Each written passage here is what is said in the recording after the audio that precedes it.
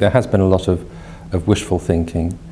um, of, uh, claiming that, um, that there were solutions in process, whereas uh, really um, the policymakers at European summits, for example, were only scratching the surface and in some cases uh, really um, being counterproductive. So I think at the European level there needed to be a much more uh, radical acceptance of the depth of the problem that Europe faced, in particular of the Greek debt problem, of the need to, to erect a serious firewall around um, other countries in the Eurozone, in particular Spain and Italy. Um, so it was a, a, matter of depth of trouble and, and, and scale of response that was uh, always inadequate, always running behind reality. And then at the national level, I think there was um, frankly, a reluctance to admit to uh, the scale of the problem and to, to take remedial measures quickly enough. And Spain is a very good example of that. I think Spain was, in effect, in denial for a long time. There is a, a real problem there that uh, essentially the European policy now, being enshrined in, in, in a treaty, um, is to have almost a coordinated uh, austerity at the European level just at the time when um, growth is one of the main uh, problems confronting uh, the euro area. So uh, I think there is a, a, a fundamental um, misdiagnosis of the problem that is that risks being enshrined in, in policy uh, by law and therefore aggravating things rather than making them better. So I think the, the, the backlash against this um, coordinated austerity is, is, a, very, is a very reasonable one. Uh, and sure, some countries have to take drastic measures to get their budgets in order and to, to start bringing them down.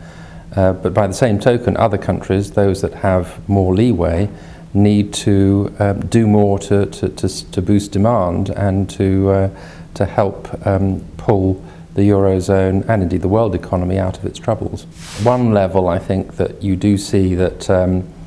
uh, companies are particularly focused on uh, the bottom line in a time of difficulty and, and the, the, the frothier end of what you might call corporate so, social, woolly corporate social responsibility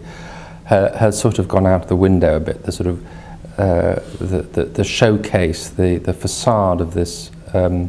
this area has um, no longer washes and, and, and there, there's much less budget for it. It's a much more hard-headed look at uh, what really is in the corporate interest. So from that point of view, you may say that the agenda is, if anything, um, getting less um, socially responsible. But I think if you look more deeply and you see um, what many companies are actually doing who are thinking more fundamentally about issues such as uh, climate change,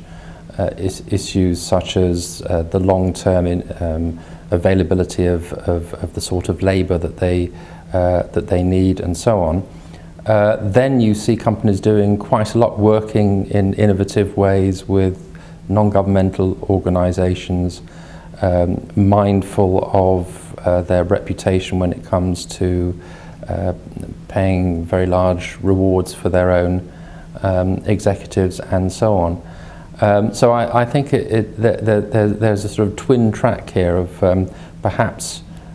less superficial stuff going on and rather more fundamental stuff going on in the sustainability area. Well, Scot the Scottish issue, first, first of all, I think is, um,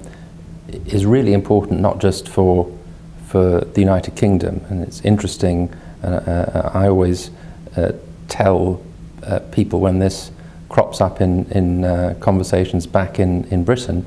that this is an issue that would have reverberations far beyond, uh, far beyond Scotland, far beyond England, especially in Spain. And uh, this is something that, of course, is not normally typically taken into account, considered uh, in Britain, where there's an insular view of, of, of this whole issue.